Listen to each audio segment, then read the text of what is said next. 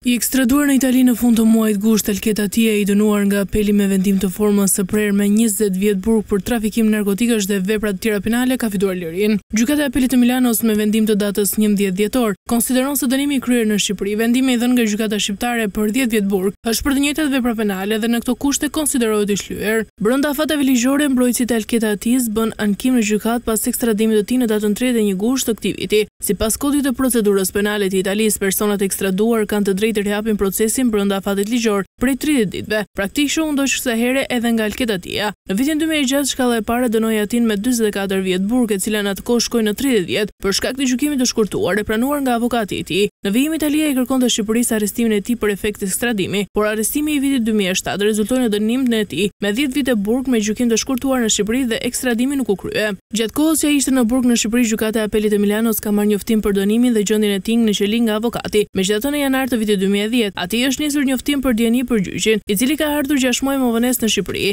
Sipas Kodit të Procedurës Penale në Itali në momentin që personi është në burg për të njëjtën çështje, gjyqi duhet të pezullohet ose të merret prokurë me shkrim nga vetë i pandehuri që pranon të vijojë gjykimin. Në rastin e Hatisë një gjë e tillë nuk ka ndodhur nga vetë ai, por firmosur nga avokati, pa pëlqimin e pesëdhjetë vjeçarit. Në këto kushte në rihapjen e procesit gjyqësor, Gjykata e Apelit të Milanos ka lënë të lirë Hatinë, i cili pritet të kthehet në atdhe brenda pak ditësh duke përmbyllur përfundimisht një proces të gjatë betejash me gjyqësorin.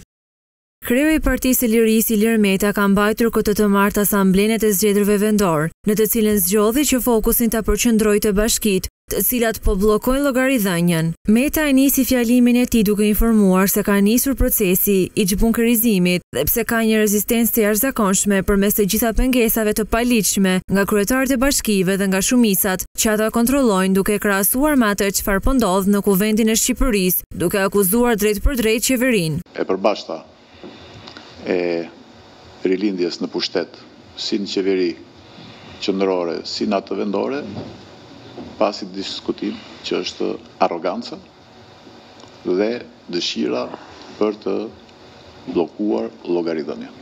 Lidhur me buxhetin e propozuar për dy mijë e njëzet e katër nga qeveria, kreu i partisë opozitare u tregoi të pranishmëve se çfarë rruge ndërmori mazhoranca dhe se si u miratua, duke shtuar se po e njëjta gjë është tentuar të bëhet edhe në buxhetin e pushtetit vendor të bashkive. Sepse të gjitha janë përpjekje për të lehtësuar kostot e qytetarëve, të familjeve të Tiranës dhe njëkohësisht për të mbështetur gjithnjë e më shumë sipërmarrjet e ndershme të cilat hasin vështirësi të jashtëzakonshme dhe për të cilat nuk kujdeset as Bashkia e Tiranës përgjithësi dhe as bashkitë e tjera të Rilindjes, sepse fokusi i tyre u theksua edhe një herë tjetër duket qartë edhe në projektet për buxhetin e ardhshëm janë tek inceneratorët, Autoriteti Kombëtar i Ushqimit ka bllokuar një sasi qumështi si dhe nënprodukte të tjera në tre subjekte në Durrës, Elbasan dhe Kukës.